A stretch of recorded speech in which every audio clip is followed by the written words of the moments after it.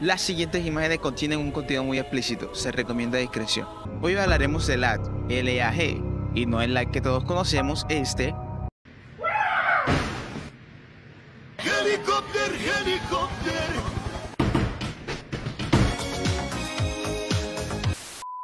Sino este.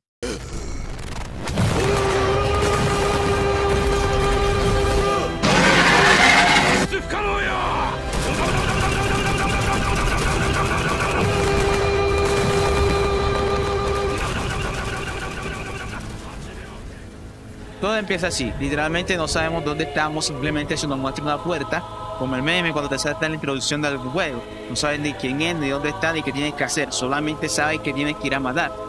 Ese es el capítulo 1 de LAT. Empieza mostrando una imagen de fuerte que vuelvo a recargar, tiene imágenes muy fuertes y dentro de eso se muestran partes del cuerpo humano, o sea, así mismo como unos de aquí no tienen cabeza, brazo, entre otros. En su momento se nos muestran los diálogos de este manga, que es la siguiente. La forma en la que vimos es diferente, pero el final de nuestras vidas es similar. En la escena se nos muestra una especie de samurái, y no verán ni dos segundos porque termina muerta de una. Y a la misma vez lo que parece ser un grupo que está atacando a una criatura mutante, mitad depredador, mitad alienígena, y alguien que parece ser el líder, que spoiler, lo es, ese es nuestro prota. Por cierto, le diremos Thomas, haciendo referencia a Maze Room. Lo que hayan visto la película es muy buena película. Este es quien parece dar las órdenes, a la misma vez que dirige a todo el grupo su forma de atacar. Grupo que comúnmente se divide entre los roles que suelen darse muchos manguas y juegos, como por ejemplo lo puede ser un mago, un asesino, un combatiente, entre otros. Estos tratan de sincronizar sus golpes para maximizar el daño a esa criatura. Pero en un caso de desesperación o de pronto aprovechar la oportunidad viendo que la criatura no se mueve y está herida, estos intentan atacar cosa que no les sale nada bien porque la mayoría termina muriendo por los tentáculos que se les regeneran, les salen, no sé, algo estilo Piccolo en Dragon Ball. Y como dije, la mayoría muere, o sea, literalmente pierden una gran parte del equipo y, el equipo obviamente se va aturdido. A eso mismo, el que nuestro protagonista, Thomas, ya dije que le decirlo así, para evitarnos decir el King Jong, no sé cómo se llama. Total, viene otro protagonista y carga contra él, haciendo uso de habilidades que se le otorgan desde este mismo laberinto. Simplemente viendo cómo ataca el enemigo, sabiendo que los tentáculos son rápidos, etc. Viendo las características, patrones y entre otras cosas, haciendo uso de aquellos patrones, e indicios que este mismo da, la regularidad de sus ataques a lo largo de sus tentáculos, entre otras cosas, este mismo intenta atacar o atacar una brecha que se abre dentro de estos múltiples ataques del enemigo, del monstruo, de como quiera. Sabiendo que no le queda mucho tiempo, este no quiere prolongar la pelea por obvias razones, que Atares termina, entre otras cosas. Y es así como usa, creo que es la habilidad asalto, signo interrogación, no muestran el nivel, pero este mismo monstruo no parece ser de bajo nivel, porque reacciona uno muy rápido y dos tiene habilidades ocultas dentro de su mismo cuerpo. Es así como hace un ataque solar de luz, de luz solar, no sé qué es, y impacta. Ahí está el nombre, Geo-Q, Geo, total, de Thomas. Este mismo suele esquivarlo, aparece encima de él, una táctica básica. Este mismo esquiva y lo ataca y usa otra habilidad.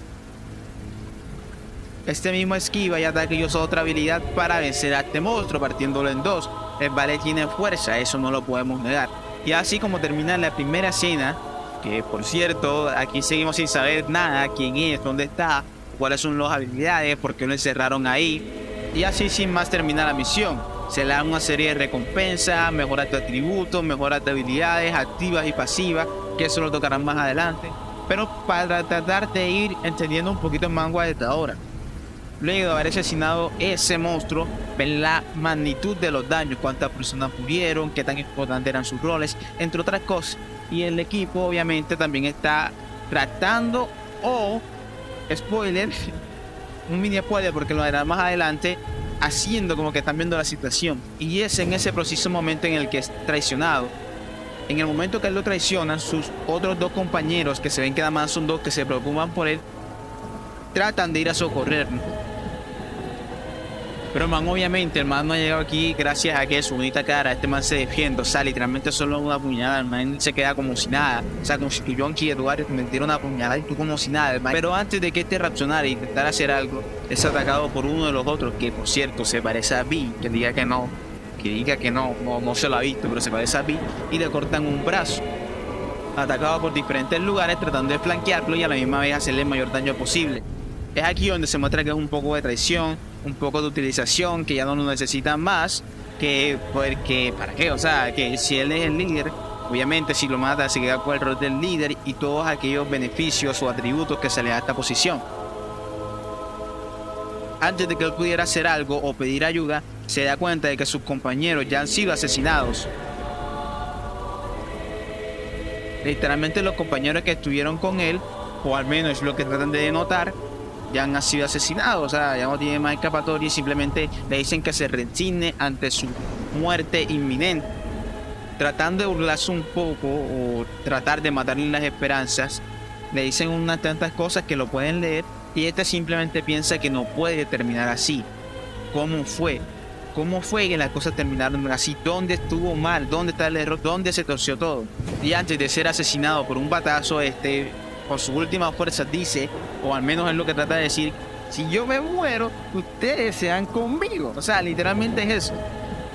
El Killer B, así lo va decir, el Killer B dice que antes de que use sus habilidades lo ataque, porque recuerde que hay habilidades activas, pero este man ni siquiera usa habilidades, o sea, literalmente con un solo brazo y la, y la boca mata como a 4 o 5, a media docena. O sea, mira, y mira, y mira que lo están atacando. O sea, mira que le hacen daño por un lado, que lo cortan, que, que, que son varios atacándolo por diferentes flancos. Y este man se mantiene ahí hasta que le cortan el brazo. O sea, ya no queda más nada que hacer. Si te cortan el único brazo con el que estabas atacando, o sea, fuera de que ya estaba apuñaleado por varias partes, ya no queda nada que hacer. Y es en ese preciso momento en el que le cortan la cabeza. Y tú dirás, bueno, o sea, no hay nada más que puede hacer. O sea, razón tiene, es verdad. O sea, si te cortan la cabeza, poco puedes hacer. Introspectivamente, el prota simplemente dice, bueno, me llevó unos cuantos. Luego de que la cabeza del prota, eh, YouTube no me lo censure, luego de la cabeza, luego de que en la cabeza del prota tocara el piso ya sin poder hacer mucho más, o sea, solo tenía la cabeza, y viendo que se llevó a unos cuantos y así no podrán pasar los siguientes pisos, y sé muy bien que todo, que muchos ya están entendiendo los diferentes pisos, pasar, porque, bueno, no lo dicen ahí, pero eso eran como un nivel 100 de profundidad, pero asimismo también eso lo explicaremos más adelante. Introspectivamente luego el prota piensa que, bueno, ya listo, eh, muero y se acabó.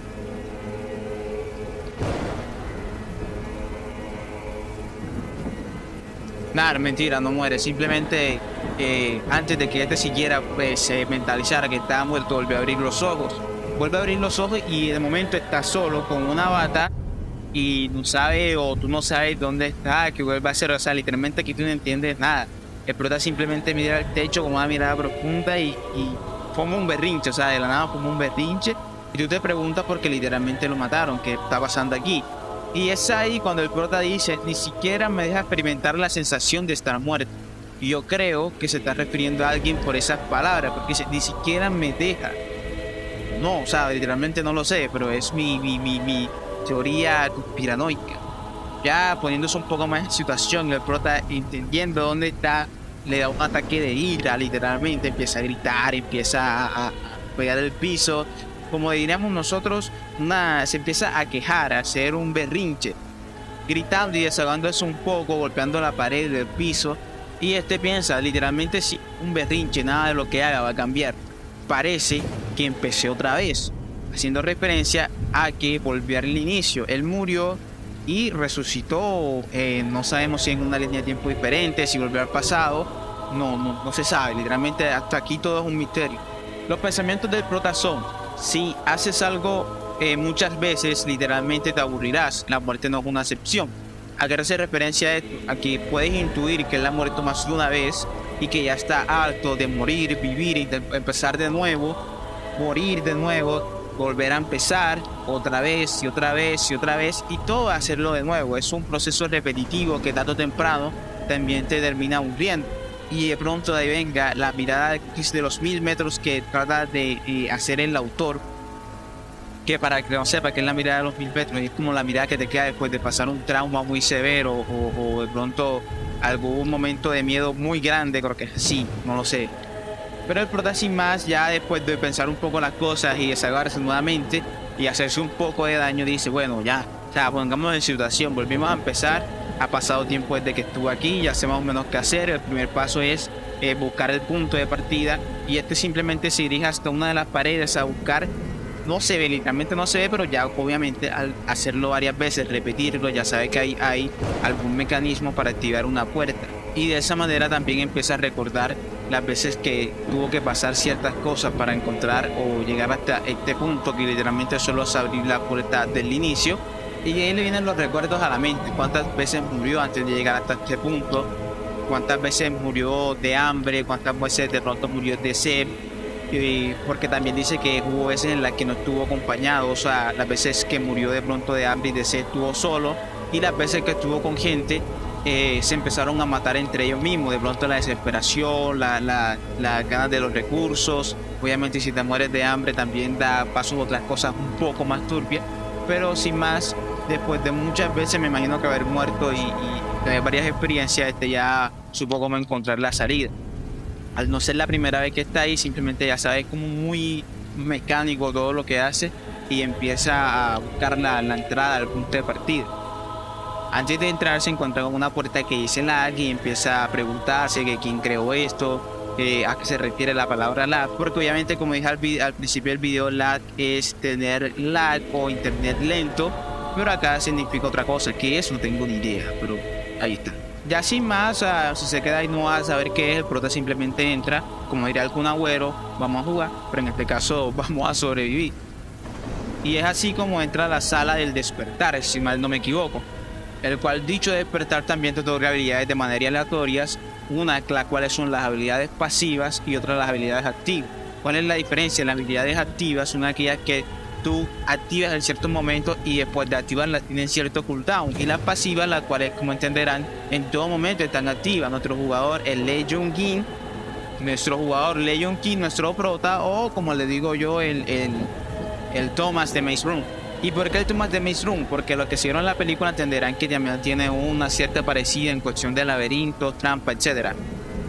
Luego de eso le despierta completamente y se le da, creo que son cuatro habilidades activas y se le da un, una característica una que es tener habilidades pasivas infinitas. Las habilidades activas son flama, luz, fuego, entre otras, jadeo, entre otras. Y las habilidades pasivas son todas aquellas que puede acumular y de igual manera también se le da una restricción que solo puede usar dos habilidades activas por vez. Quiere decir que por ejemplo luz y flama y ya no puedo usar más nada.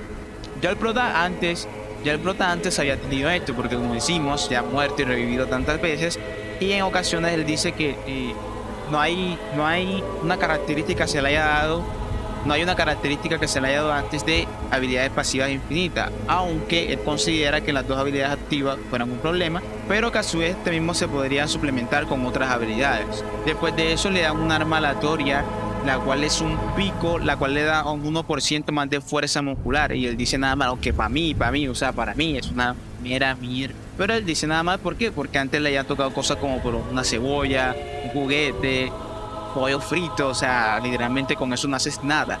Y procede a irse de la sala al despertar.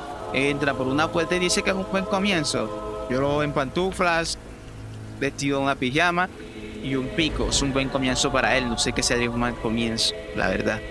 Y en ese momento en el que tiene que elegir dos puertas, la B1 y la B2. Anteriormente el prota había entrado por la B1, es lo que dice él. Desea bajar, pero lo que encuentre después de bajar le haremos para próximo video. Si llegaste hasta aquí no olvides suscribirse y darle un like si te gusta o si no.